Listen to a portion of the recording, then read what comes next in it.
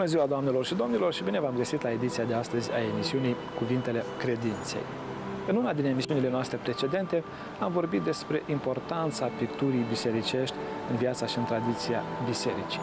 Astăzi, în cadrul emisiunii din această duminică, vrem să vorbim despre semnificația și la fel importanța în viața bisericii a muzicii, a muzicii care însoțește slujbele creștine, a muzicii care este cântată de creștini în diverse situații, la diverse sărbători ale sufletului și vom face lucrul acesta prin prisma cântărilor Sfintei Liturghii, care astăzi vor fi prezentate în cadrul emisiunii noastre de Capela Corală Moldova a instituției publice Compania Teleradio Moldova.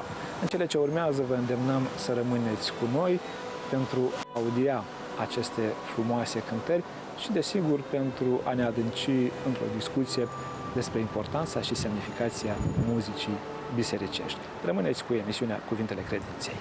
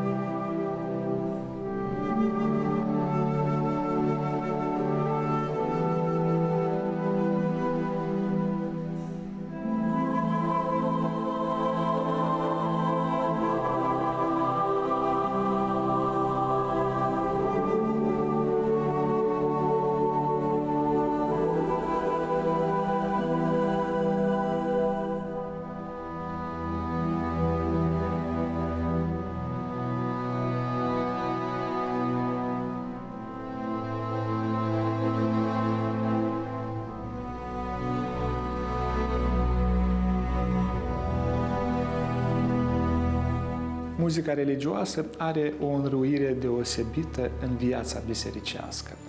Ea este compusă în baza psalmilor, a rugăciunilor sau în baza unor exprimări adânci ale sufletului creștin.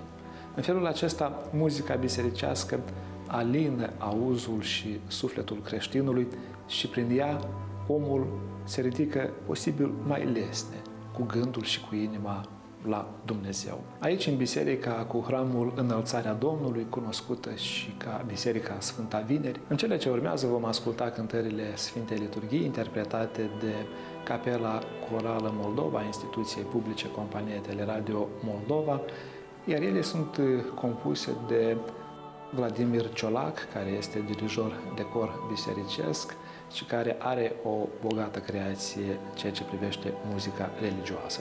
Vom asculta așadar această creație și vom discuta și despre rolul și importanța în viața bisericii și a omului în general a cântărilor bisericești. Rămâneți în continuare cu noi!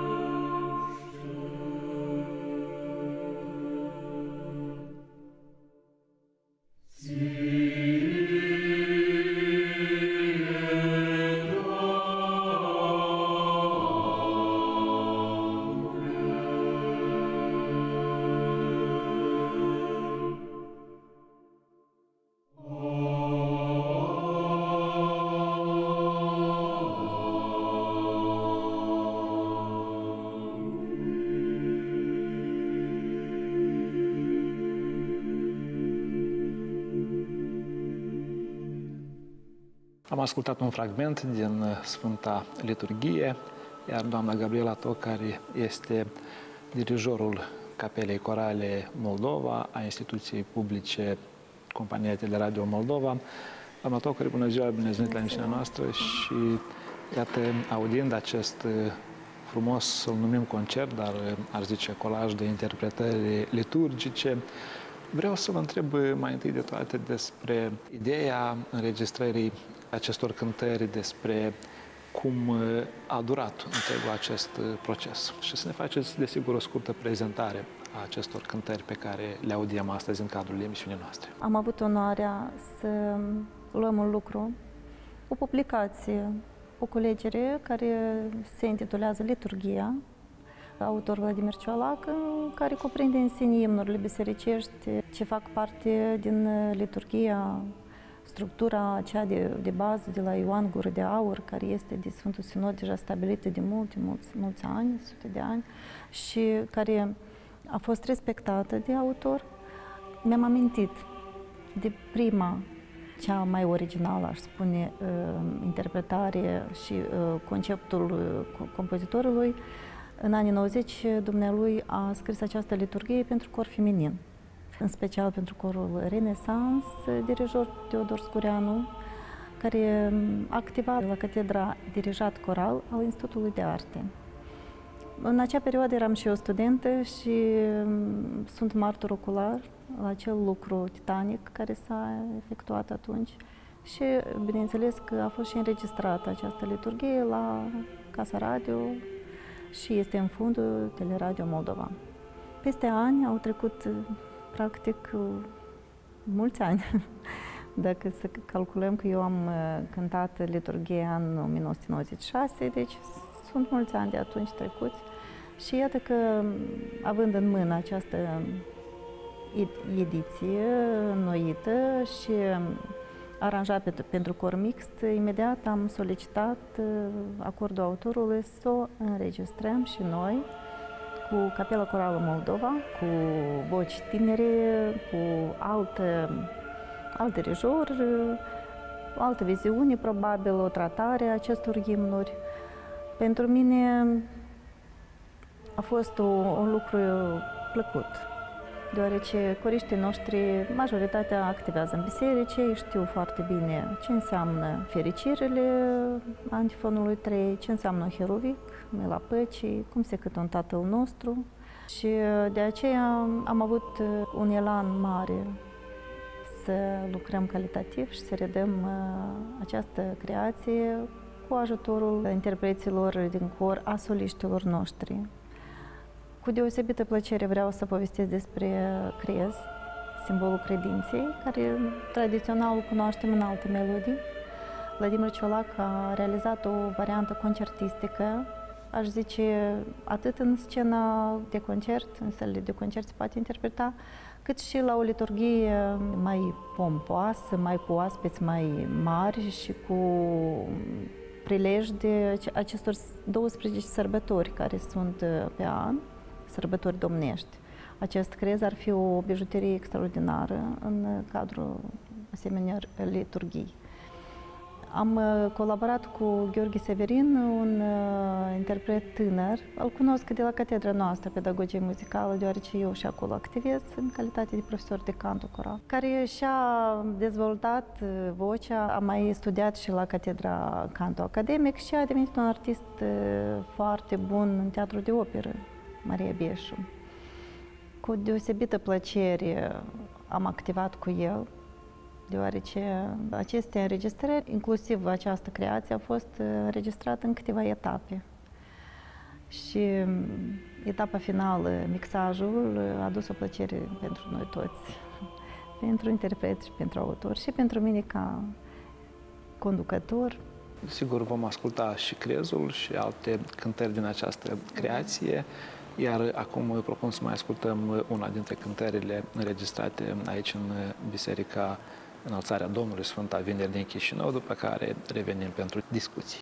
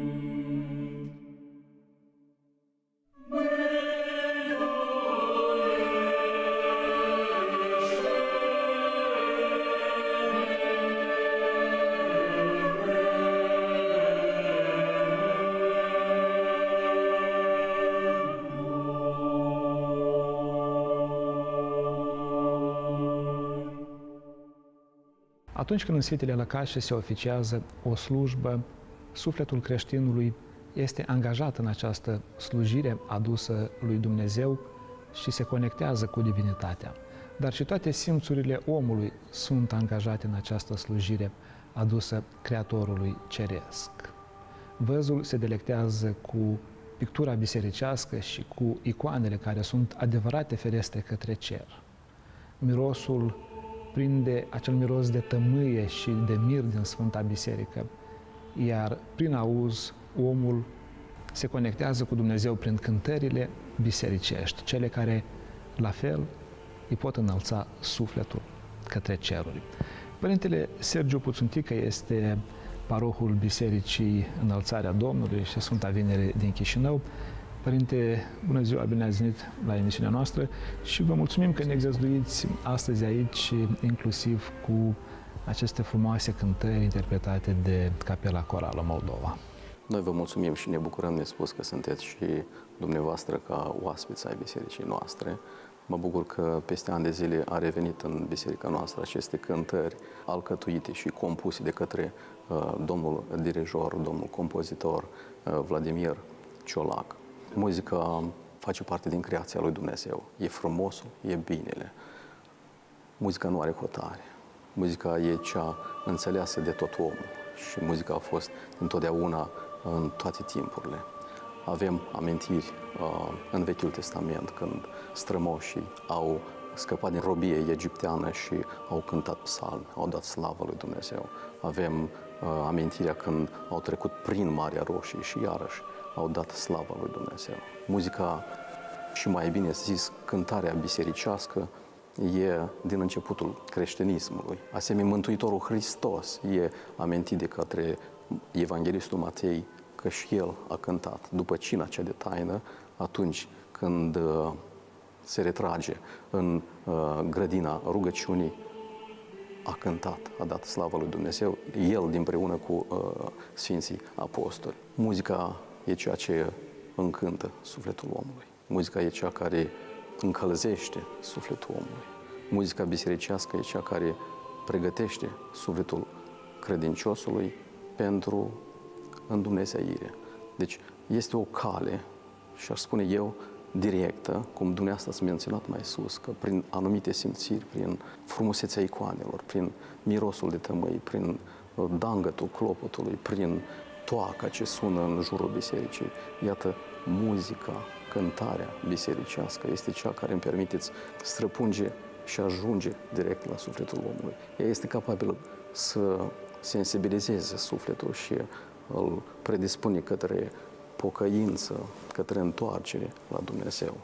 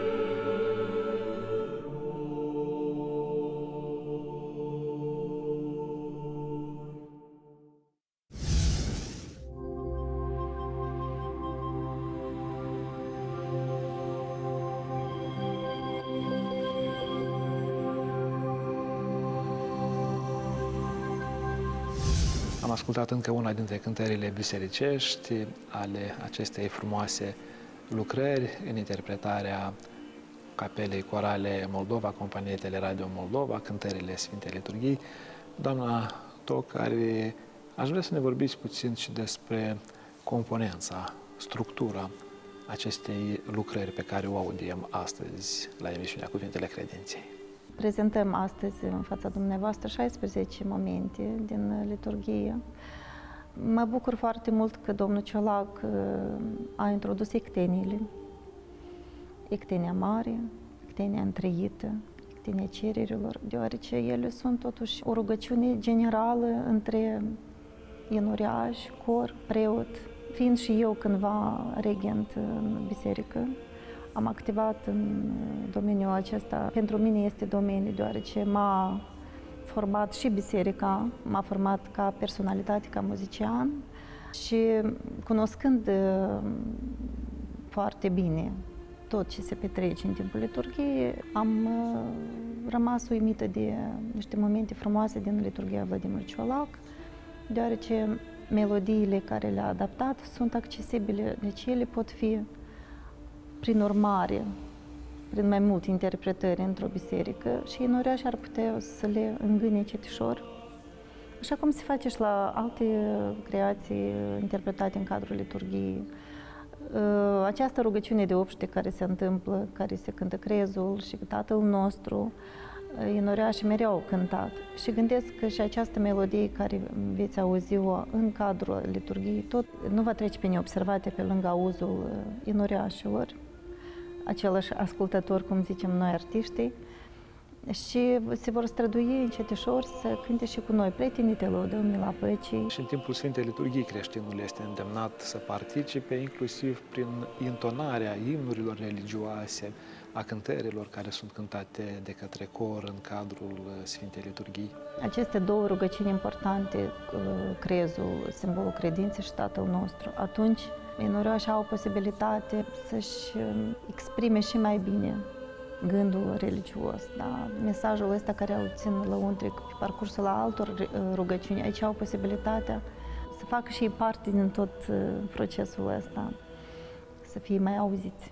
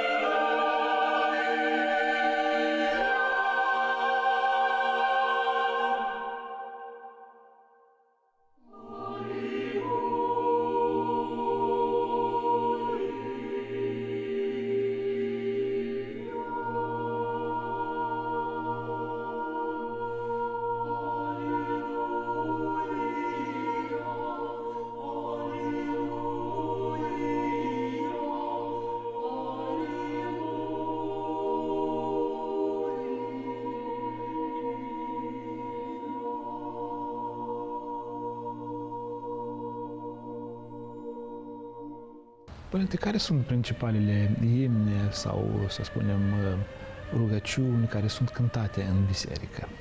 Prin cântarea bisericească urmărim nu atât cântarea, dar invocând rugăciunea.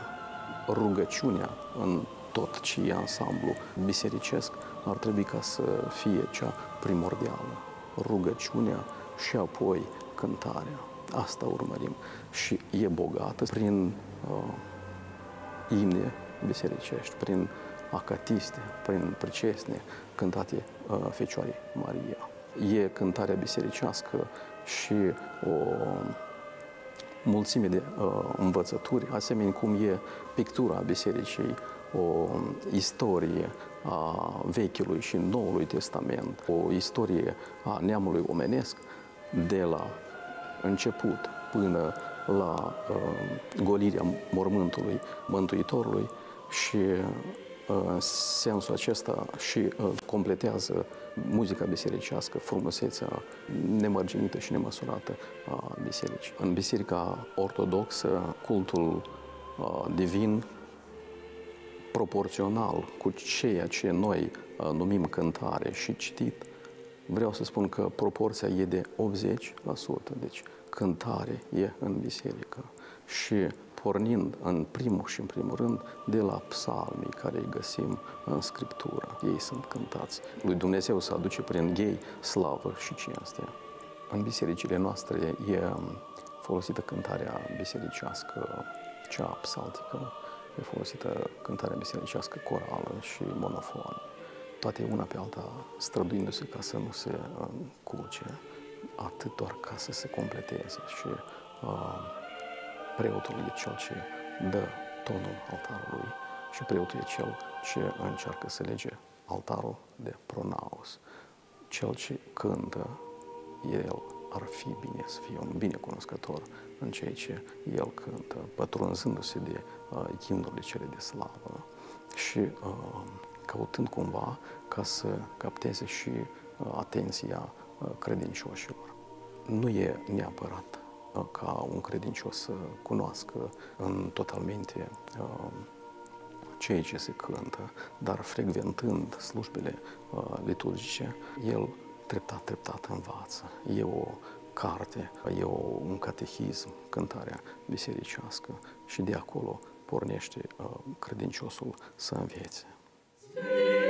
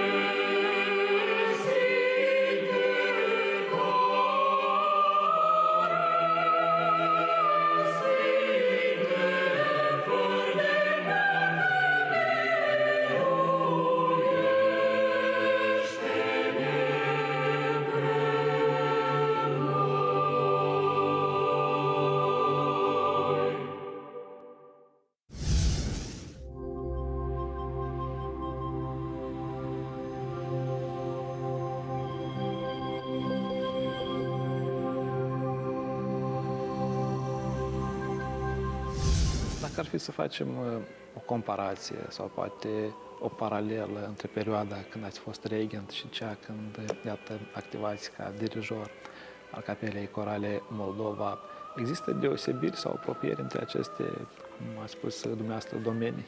Vreau să menționez o perioadă foarte frumoasă de șase ani și jumătate în Biserica Sfântului Nicolae din Chișinău, sub uh, conducerea regentului Nona Borșevski. Este o perioadă pentru mine uh, fundamentală, deoarece ea mi-a pus baza cunoștințelor anume în domeniul culturului bisericesc. Eram studentă. Eram studentă la colegiu, colegiu pedagogic, atunci când profesora mea, Veronica Galescu, m-a luat de mână și mi-a zis că eu te văd în biserică. Îmi plăcea foarte mult să cânt uh, muzică ușoară, muzică populară, cântam la petrecere, așa ca studenții. Dar dumneavoastră mi-a zis, nu, eu te văd uh, totuși să, să rămâi uh, în cultul ăsta bisericesc, să, să faci un pas. Pentru mine, un copil al ideologiei comuniste, a perioadei sovietice interbelice, era ceva nou, neobișnuit. Și iată, atunci eu am simțit că încep o, o direcție nouă în viața mea și mă bucur foarte mult că Dumnezeu m-a îndrumat și am stat uh, și am absorbit toate cunoștințele legate de muzica bisericească, anume de la Nona Borșeschi. Îi doresc multă sănătate pe unda acestei emisiuni.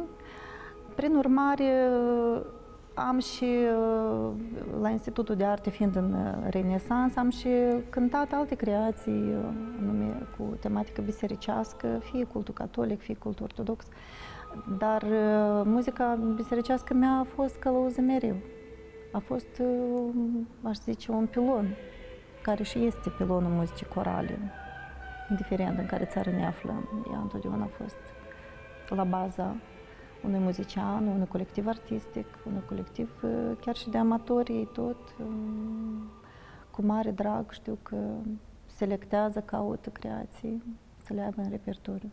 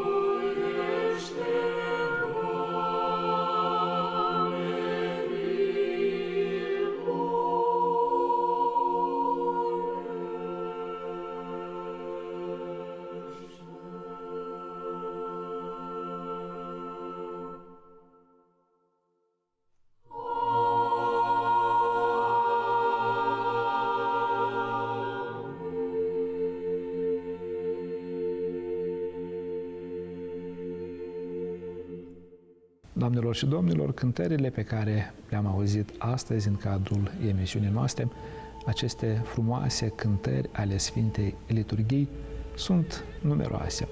Dar întrucât uh, timpul rezervat emisiunii noastre expiră, le vom asculta și în cadrul emisiunii noastre de data viitoare. Atunci când, de asemenea, vom continua și discuția începută aici în Biserica Sfânta Vinere, atât cu dirijoarea Capelei Corale Doina, cât și cu Părintele Paroh al Bisericii. Iar astăzi încheiem aici emisiunea noastră și săptămâna viitoare, ca de obicei, vă așteptăm la emisiunea Cuvintele Credinței. La revedere!